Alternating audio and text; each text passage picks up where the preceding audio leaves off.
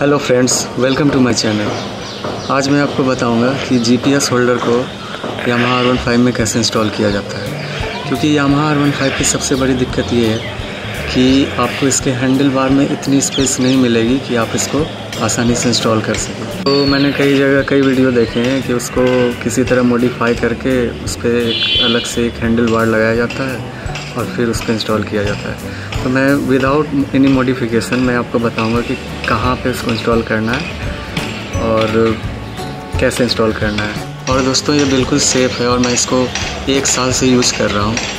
तो उस तरफ़ से कोई दिक्कत नहीं आएगी आपको। तो मेरे वीडियो को आप देखते रहिए और प्लीज़ लाइक सब्सक्राइब और शेयर करना ना भूलें वो मोबाइल होल्डर जिसको हम यामाहा वन फाइव में इंस्टॉल करेंगे।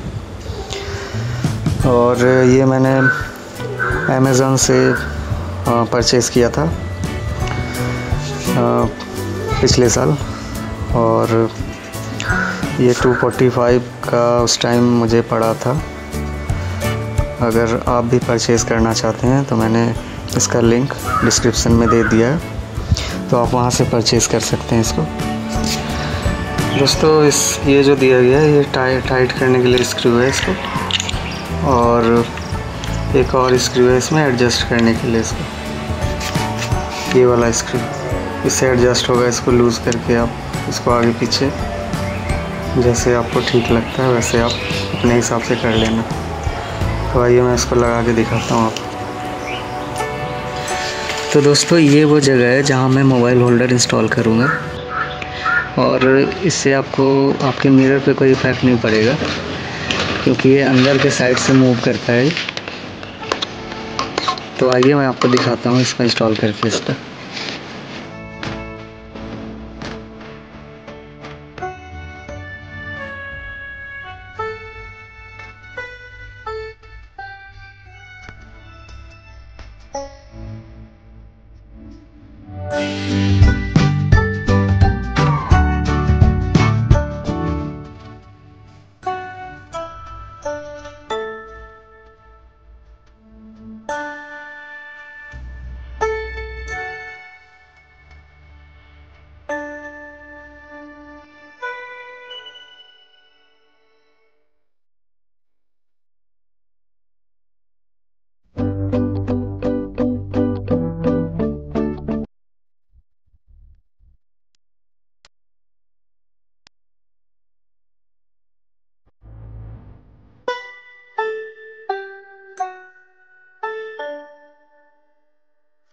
तो दोस्तों, जैसा कि आप देख रहे होगे, मैंने इसको इसमें इंस्टॉल कर दिया है।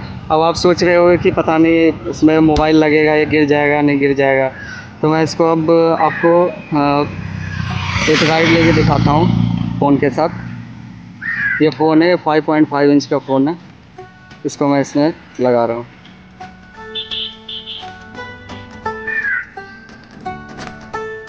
अब बंद